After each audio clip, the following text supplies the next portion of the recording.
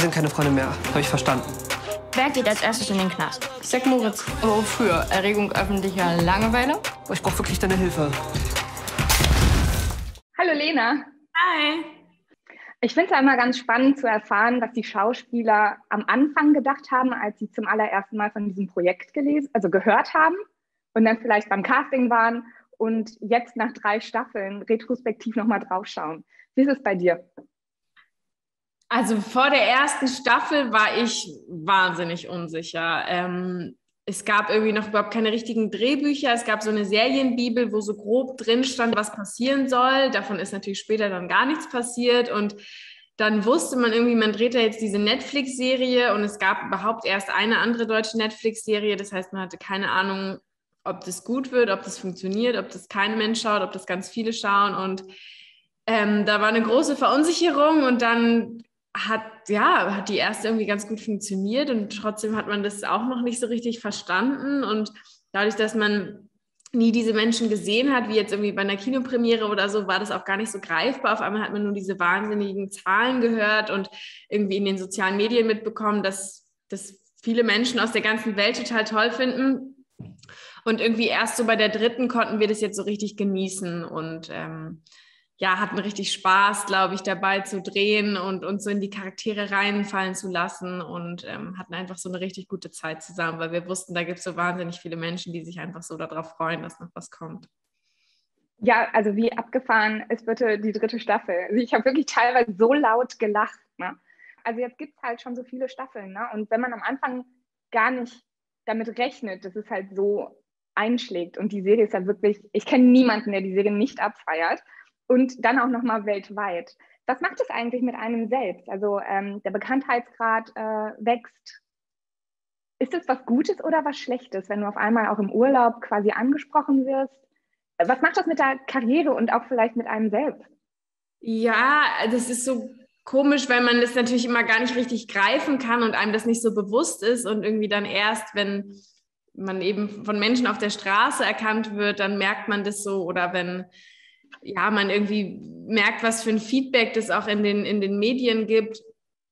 Aber grundsätzlich ist es natürlich total schön, wenn man was, wenn man was kreiert, was Menschen gefällt, wo Menschen eine eigene Meinung zu haben. Oder ich finde es immer total schön, wenn Menschen einem dann ihre Lieblingsszene erzählen oder was sie irgendwie jetzt erwarten für die nächste Staffel oder so. Also grundsätzlich gibt es ja nichts Schöneres, als wenn man, wenn man ein Teil von etwas ist, was Menschen einfach total gefällt und man kennt man ja selber, wenn man so ein Fan von irgendeiner Serie ist oder so, man wirklich da irgendwie darauf wartet, dass was Neues kommt. Und wenn man das dann schafft, bei anderen Menschen auszulösen, dann ist das natürlich grundsätzlich was total Schönes. Wie war es für dich, die dritte Staffel zu sehen? Was hat dir daran so gut, also was hat dir gefallen?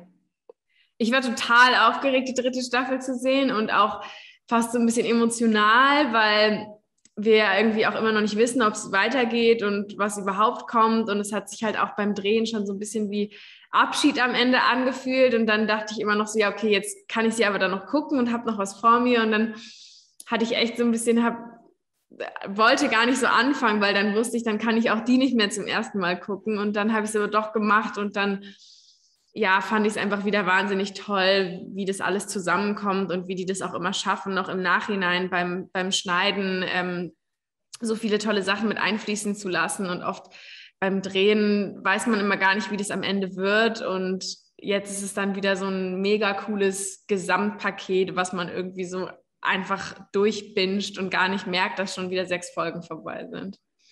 Aber jetzt mal ehrlich, also wir gehen ja alle davon aus, dass die Zuschauer nach einer vierten Staffel schreien, oder? Ich hoffe doch. ich glaube, davon hängt es ein bisschen ab. Wenn, wenn es genug Leute gucken, dann dürfen wir vielleicht auch mal weitermachen. Ich glaube, ich kann dir sagen, ich glaube, ich bin mir ziemlich sicher, dass es passieren wird. Aber ähm, sag mal, glaubst du, dass man irgendwann einmal zu viele Staffeln von, also dass es vielleicht mal zu viel des Guten gibt? Ja, ich bin ja auch ein großer Verfechter von dem Satz, man soll aufhören, wenn es am schönsten ist. Ähm, das kann auch manchmal nach hinten losgehen, wenn man irgendwie was so bis aufs Äußerste ausreizt und unbedingt noch weitermachen will. Deswegen wäre es, glaube ich, auf jeden Fall bei uns gut, wenn man so ein bisschen Zeit vergehen lässt. Also wir drehen auf jeden Fall dieses Jahr keine Staffel, was ich überhaupt nicht schlimm finde, sondern irgendwie alle können erstmal durchatmen, können erstmal verarbeiten, was da so passiert ist.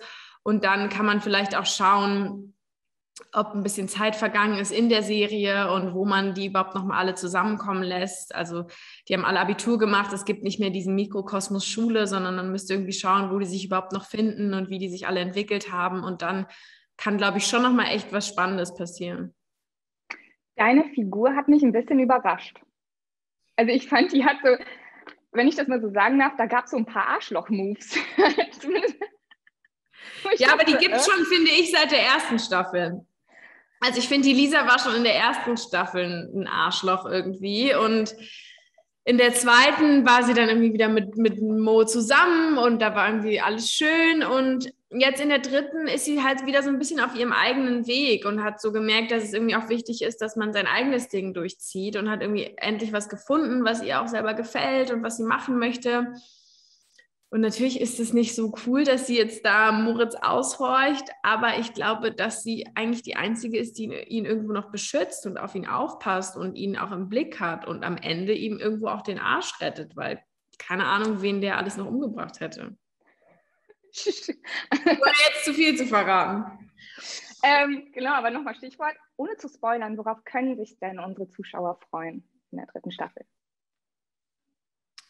Auf wahnsinnig viele Shots in jeglicher Hinsicht. Sei es zu trinken, sei es zum Schießen, sei es äh, Einstellungen in der Kamera. Also mein Stichwort ist immer nur Shots. Es gibt viele Shots. Nun passieren ja in der Serie viele, viele Dinge, viele Fehltritte, Fehlentscheidungen. Äh, es geht um Drogen, es werden Menschen umgebracht, keine Ahnung. Aber es geht dann vor allen Dingen auch um Freundschaft. Wie weit würdest du gehen? Also würdest du etwas Illegales für deine beste Freundin machen? Ja.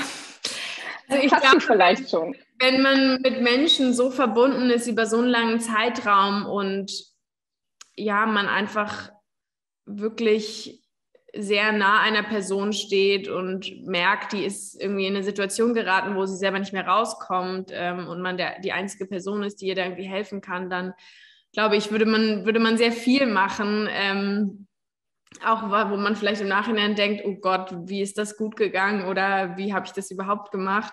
Aber das ist ja irgendwie so das Schöne, dass man am Ende sich auch auf andere Menschen verlassen kann und nicht nur auf sich selbst. Und ich finde, das spürt man auch in der dritten Staffel so, dass jeder irgendwie nur so gut ist wie die Menschen um sich rum und jeder versucht so sein eigenes Ding zu machen, aber am Ende brauchen sie doch einander.